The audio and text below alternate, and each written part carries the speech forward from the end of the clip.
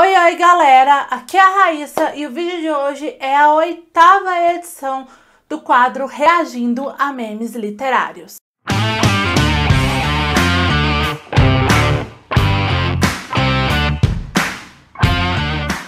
Antes da gente começar, te convido a se inscrever aqui no canal se você não for inscrito e a me seguir em todas as redes sociais. Todos os links, como sempre, estão no box de informação. E é claro, se você for comprar livros ou qualquer coisa, por favor, utiliza os links do canal que estão na descrição do vídeo.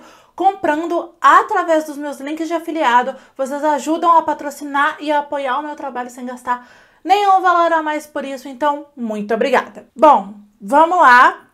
Quem já tá aqui no canal há mais tempo já é acostumado com esse quadro, né? É um quadro onde eu reajo a memes literários que eu pego em, na internet, em perfis no Instagram, tá?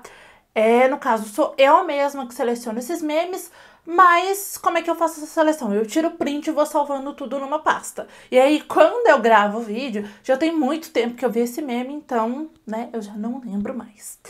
É, então, vamos lá, vamos começar. Ler livros é coisa de pessoas calmas e controladas, leitores lendo. É, né? Essa, inclusive, esta imagem aqui da Katniss representa muita gente lendo Jogos Vorazes, né? Principalmente o, o último livro.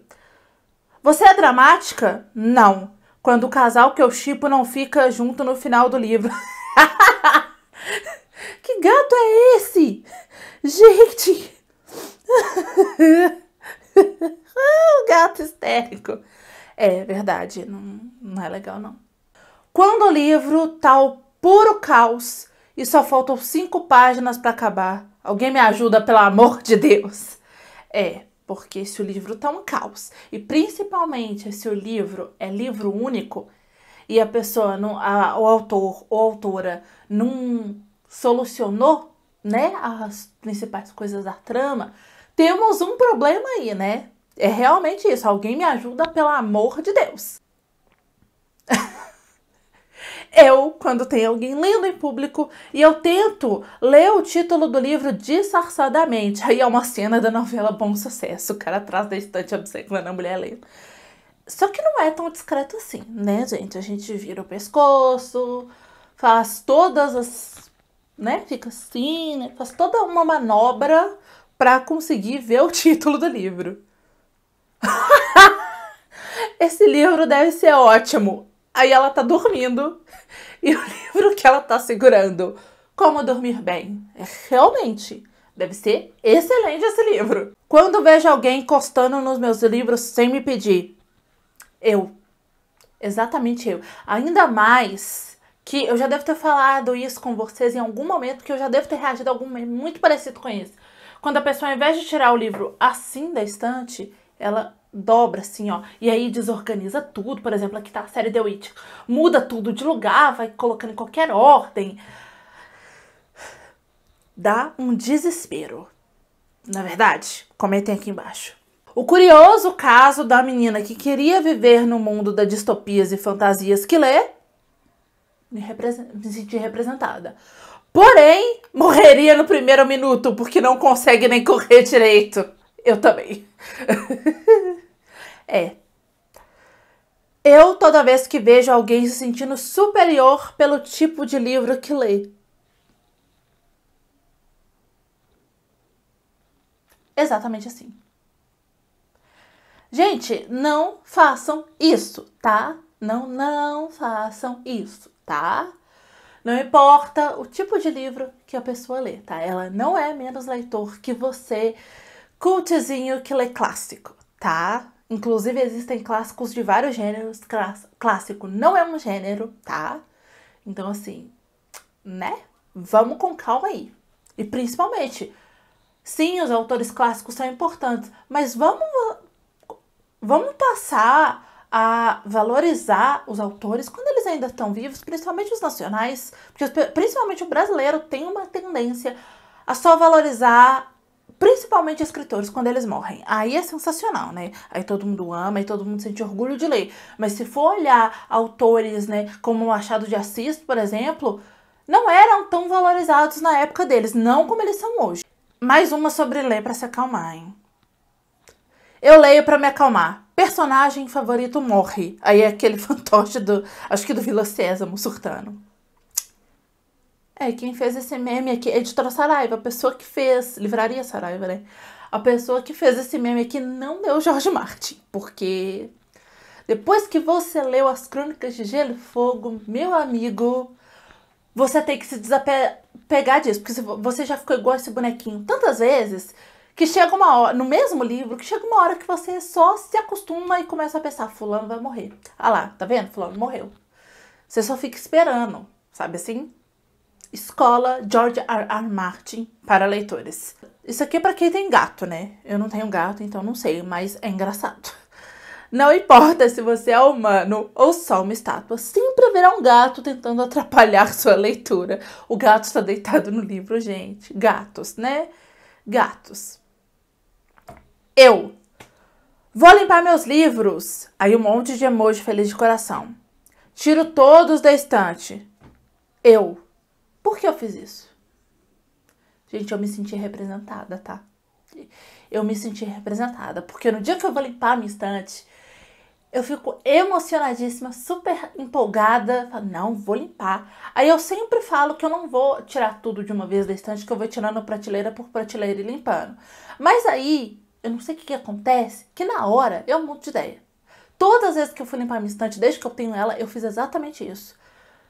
Tirei todos os livros da estante. E aí, para arrumar espaço aqui, é um custo, né? para colocar. Porque eu gosto de deixar os livros em cima da cama. Já não tá cabendo mais, né? Nem na minha, nem na dos meus pais. Aí eu tenho que pôr no chão alguns. Aí, assim que eu tiro, eu me arrependo. Porque a estante é grande. Aí falta ficar subindo e descendo de novo. Eu já subi e desci várias vezes com peso para poder colocar os livros no lugar que eu vou deixar eles enquanto eu limpo. Aí sobe e desce para limpar. Aí tá, subiu, desceu, limpou a estante toda. E ela tem prateleira até no chão, então assim. Eu tenho que sentar no chão, eu, eu me movimento, né? É uma ginástica limpar essa estante. Aí o problema é na hora de colocar de volta, né? Que você tem que fazer tudo outra vez. Aí eu realmente me arrependo. Me arrependo muito. Livro super viciante. Eu a madrugada toda, Pantera cor-de-rosa lendo. Exatamente assim, né? Quem nunca, não é mesmo? Os livros que larguei na estante quando finalmente pego para ler. Oi, sumida! é, desse jeito. Desse jeito. Nossa, tem uns livros aqui que eu comprei já tem um tempo. Acho que tem, ó. Tem Abominação que eu comprei em 2017. Tem Os Senhores dos Dinossauros que eu comprei em 2017. Acho que anterior a 2017 eu não me lembro de ter nada. Não lido, não. Acho que não. Vai ser esses livros de 2017, quando eu pegar, eu acho que eles realmente vão falar para mim. Oi, sumida. Quanto tempo, hein? Esqueceu de mim aqui? Eis mais um meme com Simpsons, né? Eis que você tem mais de 6 mil livros na lista de próximas leituras. 500 leituras atrasadas. Lendo três livros atualmente, a expectativa de vida é que no máximo 80 anos e mesmo assim você quer ter tempo de ler tudo. Aí é uma conta de matemática. É, desse jeito mesmo. Triste, né? Quando estou lendo Agatha Christie e os personagens vão surgindo na história. Suspeito. Gente, é exatamente assim. Eu li dois livros dela só até agora que foram Assassinato no Expresso do Oriente e Morte no Nilo.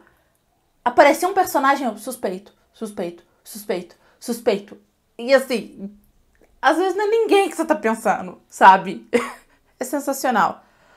Quando eu chego na parte do livro que explica o nome do livro. desse jeito, desse jeito. Eu. Eu. Exatamente eu. Principalmente quando a a explicação cita exatamente o nome do livro. Então, sei lá. A Passagem. A, a Passagem, gente, que é um livro que eu amei. No momento em que uma personagem fala, sei lá o que, a passagem, né? Que o título tá dentro de uma, de uma frase, eu assim, eu dou um berro, porque eu entendi o título. Então, assim, é sensacional, realmente. Nossa, os Simpsons hoje aqui tá bombando, hein? Eu, quando fiz essa seleção, tava pensando em os Simpsons, porque, nossa, Qual é que é dos memes com Simpsons? Pessoa, me diz um motivo para ler o livro e não assistir o filme. Eu, ela abrindo um escaninho gigantesco de motivos. É, né, gente? Leiam os livros que tem que ganhar adaptações. Olha, esse foi o último. Foi o último. Se você gostou desse vídeo e quer assistir os outros episódios desse quadro, fica até o final do vídeo que eu vou deixar a playlist completa na tela final. Então é isso, se você gostou desse vídeo, clica muito em gostei aqui embaixo para me ajudar na divulgação. Compartilhe esse vídeo para os seus amigos e se inscreve aqui no canal se você não se inscreveu lá no começo do vídeo. Assiste esses vídeos que estão aqui do meu lado, que eu acho que eles podem te interessar. É isso, beijo, tchau e até o próximo vídeo.